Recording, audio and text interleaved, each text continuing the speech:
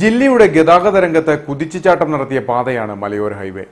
കുട്ടിക്കാനം മുതൽ ചപ്പാത്ത് വരെയുള്ള ഭാഗത്തെ നിർമ്മാണ പ്രവർത്തനങ്ങൾ പൂർത്തിയായതോടെ മികച്ച യാത്രാനുഭവമാണ് ലഭിക്കുന്നത്. അതിലുപരി ഹൈവേയിലൂടെ യാത്ര ചെയ്യുമ്പോഴുള്ള കാഴ്ചകളാണ് ഇപ്പോൾ യാത്രക്കാർക്ക് കൗതുകമേകുന്നത്.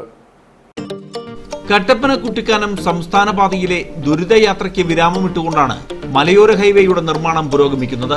പാതയുടെ ആദ്യ റീച്ചായ കുട്ടിക്കാനം മുതൽ ചപ്പാത്ത് വരെയുള്ള ഭാഗം പൂർത്തിയായി.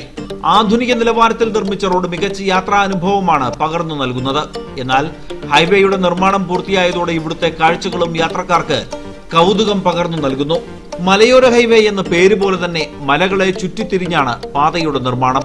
ഇതുവഴിയുള്ള യാത്രയിൽ പ്രകൃതിയുടെ വിവിധ കാഴ്ചകൾ യാത്രക്കാർക്ക് കൗതുകമേകുന്നു.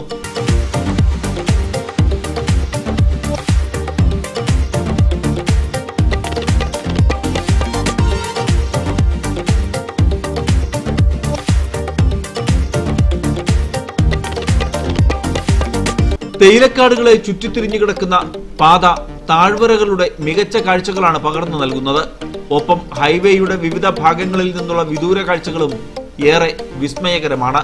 ആകാശം തൊട്ടു നിൽക്കുന്ന പർവതനിരകളും വെള്ളച്ചാട്ടങ്ങളും മനോഹരമായ തേയിലക്കുന്നുകളുമെല്ലാം മലയോര ഹൈവേയുടെ ചന്തം വർദ്ധിപ്പിക്കുന്നു. കുട്ടിക്കാനത്തിനടുത്തെത്തുമ്പോൾ മൂടൽമഞ്ഞാണ് അനുഭവപ്പെടുന്നത്. ഇടയ്ക്കിടെ കുന്നിൻ ചെരുവിൽ നിന്നും എത്തുന്ന മഞ്ഞ് ഏറെ ആസ്വാദ്യകരമാണ്. നിരവധി പേരാണ് മലയോര ഹൈവേയുടെ വിവിധ ഭാഗങ്ങളിലെ പ്രകൃതിയുടെ സൗന്ദര്യം ആസ്വദിക്കാൻ നിൽക്കുന്നത്. എല്ലാ യാത്രക്കാരും മൊബൈൽ ഫോണിൽ ചിത്രങ്ങൾ പകർത്തിയാണ് ഇതുവഴി യാത്ര ചെയ്യുന്നതും.